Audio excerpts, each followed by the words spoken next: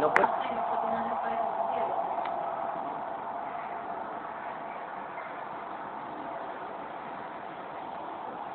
Pero eso no quiere decir que no pueda puede.